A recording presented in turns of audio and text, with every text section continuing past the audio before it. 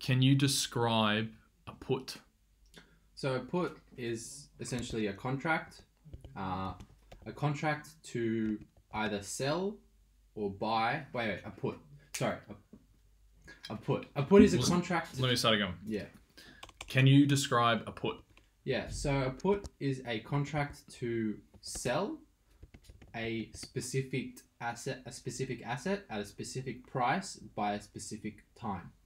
So the put will say exercise price, maturity, or sorry, exercise price and expiration.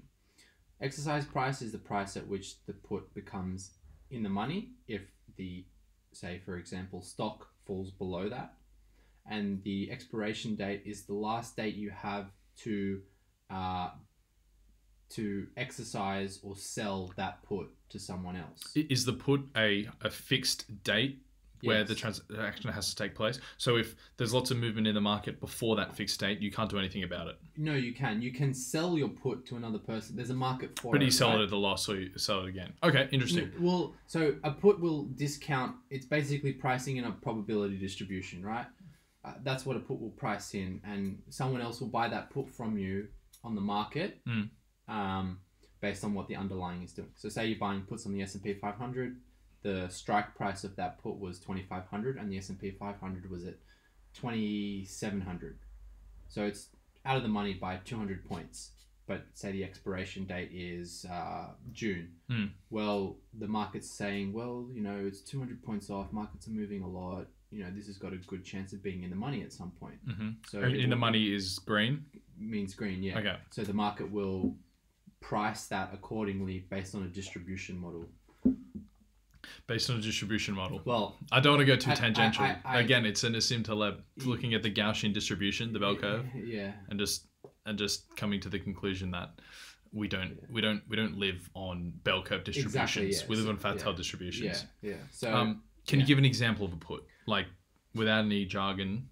Like, w- what is a put transaction? Yeah, so a put is basically uh, me, say I want to make a bet, right? I'll go and take a bet that, you know, say for example, that this horse, Maccabi Diva, Mhm. right? It's going to lose the race, Mhm. right? Well, I can bet how much it's going to lose the race on. And I can put a specific bet on, say, four seconds, or, you know, you can specify how much it's going to go down by, Yeah. as in the stop. And each additional second is priced in according to a model that predicts what the likelihood is that it's going to come in at that that uh, position. Yeah. So well, maybe maybe not model. Maybe not. Maybe, maybe model's not a good word for it because Oh, it's like when, the when I learned it, yeah. Yeah, Because when I learned it, when I learned it, it was like you know, here's a model. Use this to derive an options price, but Mhm. in reality, models never really Mhm. are always what's happening. Okay, Yeah.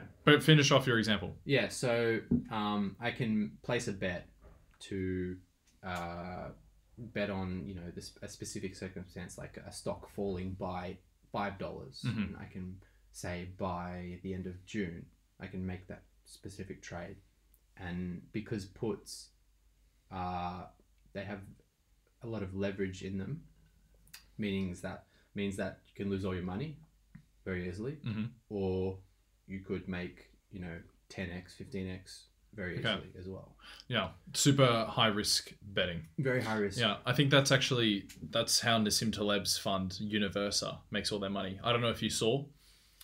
Uh, since the coronavirus has sort of hit the markets, his hedge fund's up like four thousand percent or something. fuck yeah because he trades hi- his his whole notion is to have an anti-fragile um, portfolio and anti-fragile just means it gains from disorder.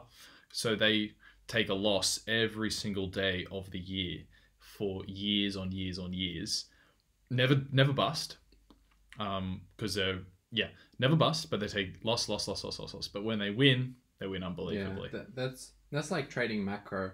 When you're trading macroeconomics like waiting for a bus like fucking nothing happens nothing happens nothing Mm-hmm. happens and then bang everything happens at once. And you and you just reap enormous upside.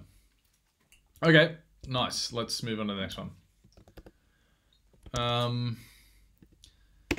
Marcon, can you describe an option and give an example as well? yeah so and o- options are just the broader term for what a put is. A put is an option. You have either calls or puts. Calls are betting on the, the price going up. Puts are betting on them going down.